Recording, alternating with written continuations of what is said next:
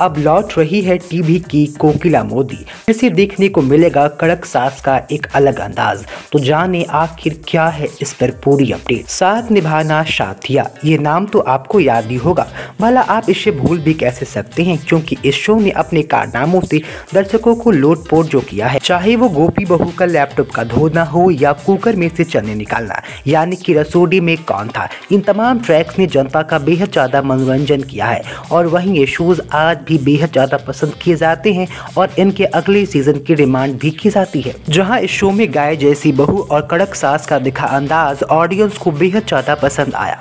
वही बात करें इस कड़क सास को किसी और ने नहीं, यानी कि रूपल पटेल ने प्ले किया है, जिसको कि उन्होंने बखूबी प्ले किया और उनके किरदार को जनता बार बार देखना पसंद करती है। वहीं अब रूपल पटेल टीवी पर एक बार फिर से वापसी करने वाली हैं और ये स्टार प्लस के आने वाले नए शो का हिस्सा होंगी। यानी कि आपकी प्यारी कोकिला स्टार प्लस के नए शो का हिस्सा होने वाली है। वहीं आप रूपल पटेल की वापसी को लेकर कितने ज़्यादा हैं एक्साइटेड हैं, बताएँ नीचे कमेंट बॉक्स में।